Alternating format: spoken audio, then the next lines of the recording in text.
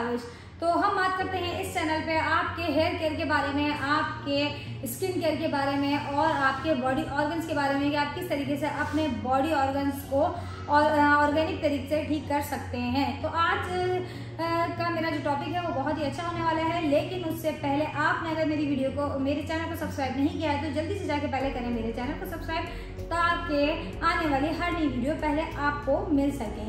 तो चलते हैं वीडियो की तरफ़। तो हमारी जो आ, मेरा जो आज का टॉपिक है वो है आ, हमारे जो बॉडी पार्ट्स का एक बहुत ही एक अहम हिस्सा है जिसका नाम है पेंक्रियाज इसको उर्दू में लब लबा भी कहा जाता है। तो आज मैं आपको बताऊँगी कि इसके काम क्या हैं। तो और ये किस तरीके से इसको हम नशे तरीके से ठीक कर सकते हैं और ये क्यों ख़राब होता है? तो चलते हैं वीडियो की तरफ़। पहले तो ये बताऊँगी कि इसके काम क्या हैं। जब हम खाना खाते हैं जैसे ही हम खाना खाते हैं और खाना आ, हमारे मैदे में जाता है तो हमारा ये पैंक्रियाज फ़ौरन से इंजाइम्स बनाना शुरू कर देता है।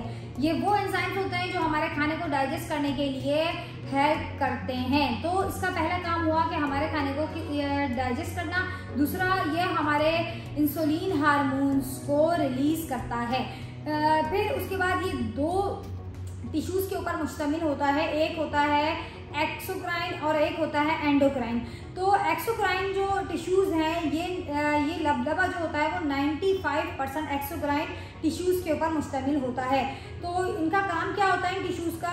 95 परसेंट एक्सोक्राइन जो होते हैं, क्या करते हैं? हमारे खाने को हजम करने में मदद करते हैं. और जो 5 परसेंट एंडोक्राइन टिश्यूज़ हैं ये हमारे ब्लड के अंदर शुगर लेवल को कंट्रोल करने का काम करते हैं। अब बताऊँगी कि हमारा लबलबा ख़राब क्यों होता है। जब हमारे खाने के अंदर चीनी की मकदार सफ़ेद चीनी की मकदार ज़्यादा हो जाएगी, हमारा लबलबा ख़राब होना शुरू हो जाएगा। या फिर हमारे खाने के अंदर चिकनाई की मकदार ज़्यादा हो जाएगी तो हमारा लबलबा ख़राब हो जाएगा। या जो लोग सिगरेट नोशी नोशी करते हैं या शराब नोशी करते हैं, उनका लबलबा भी ख़राब हो जाता है। तो चंद एक फ़ूड है जो मैं आपको इस वीडियो में बताऊँगी कि उसे खाकर आप किस तरीके से अपने लब लबे को साफ़ कर सकते हैं। तो चलते हैं उन फूड्स की तरफ़। नंबर वन पे है हल्दी।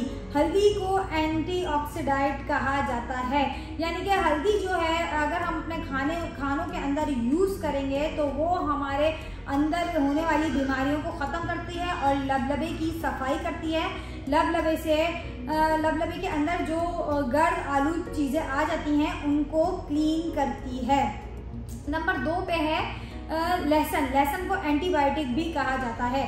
अब लहसुन जो है, जब हम लहसुन खाते हैं तो हमारे जिसम से फाजिल मादों को निकालने में मदद करता है और हमारे लबलबे के अंदर जो सूजिश हो जाती है, उसको ख़त्म करता है।